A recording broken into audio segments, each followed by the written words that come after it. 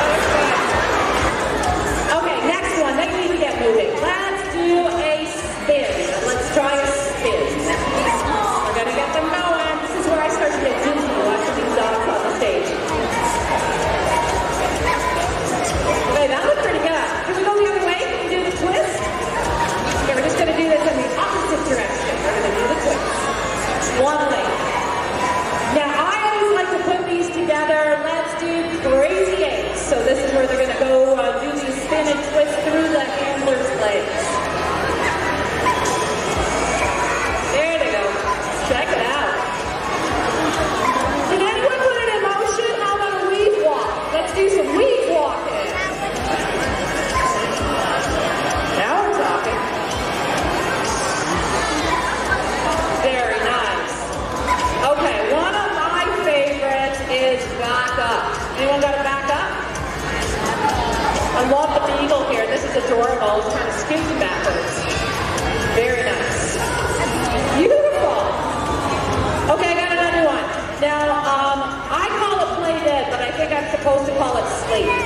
Can they go to sleep?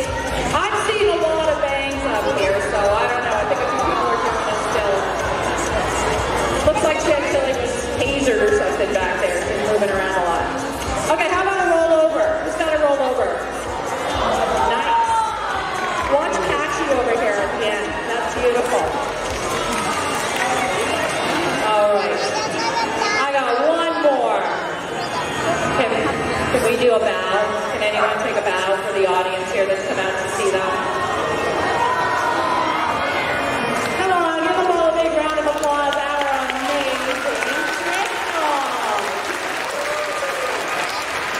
All right, I'm going to give Emma a minute because she actually has to change dogs.